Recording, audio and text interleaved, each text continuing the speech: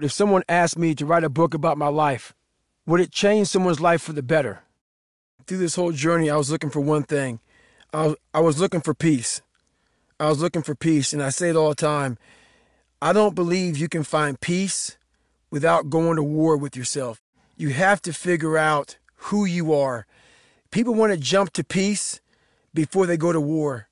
And that's why, you know, all the monks and all the things that they did by running a thousand marathons in a thousand days, they were trying to find something. Mm. You know, they were trying to find more of themselves. Yeah. What's this all about? What's this journey about? You don't find it through sitting at home, flipping through the daggone, you know, you know, television channels. A lot of us believe in praying on it and stuff like that. Yeah, you can pray on it, but if you sit in a room and pray on it and do nothing about it, nothing's going to happen. You have to put work behind everything in life. You have to put effort. You have to you have to put friction behind something for for something to change. We we don't want to examine the possibilities of what we can be. And and that's the scariest thing in the world to me is I believe that so many people have died never knowing what they could, you know, what, what they could have been. You have to kind of imagine yourself after the fact. So what that means is like this morning, I didn't feel like getting up and running. I didn't get much sleep. I stretched, you know, I was I was stretching for a couple hours, went to bed about 1:30. I was up at 6 this morning and went running.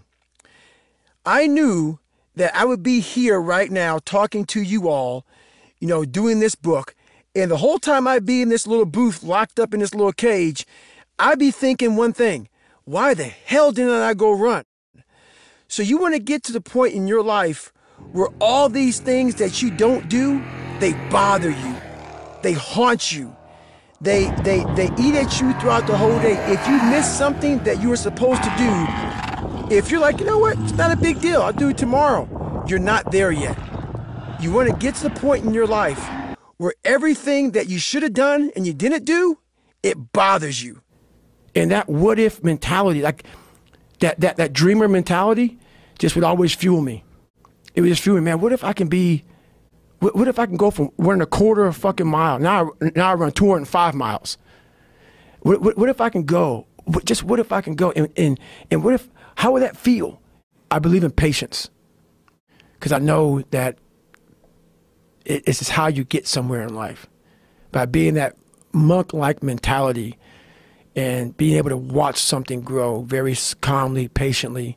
And that's all I'm doing right now. It's not about money. It's not about people knowing me. I don't care if you like me. Whoever wants to hear this is out there. This journey is going to take something that is going to be incomprehensible to most people. And these different visualizations, how I visualize in in my self talk, you know, it just became this different mindset. I turned negatives into positives. So I would, I would take it like, who, who would even think about doing this? So it's how I started talking to myself and put myself in a whole different category, and that would fuel me the next day. And I just kept using that as fuel and fuel through through discipline, through self discipline, through repetition, through tons of repetition of the same thing that you don't want to do. Through repetition of things you don't want to do, you develop mental like uh, like an armor for your mind. It always looked brutal. People waking up early and doing all these things, and it looked it looked horrible. I was like, wow, man, I gotta start doing that not to get better, bigger, and stronger, but that is what's going to build me. That looks uncomfortable. That looks brutal. And getting up early, I don't want to do that. So I made this long list of things I don't want to do. And through that, I found myself. I started get, like I'm like, you guys are getting up at five o'clock in the morning, running over here in this golf course. So I started seeing myself very differently than, than the average human being. I was like, hold on a second. I have something they don't have. And that's when I started to develop these things through working out. It was this great, never ending work ethic. And through work ethic, I developed self esteem. The, the unfulfilled potential is the story of most people's lives. It is. It is. It, and it could have been the story of mine.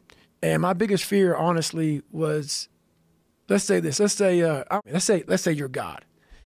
And we have a big and long line of people and I made to heaven. I'm 75 years old. I'm 300 pounds. I made to heaven. I worked my entire life spraying for cockroaches. That's what I did.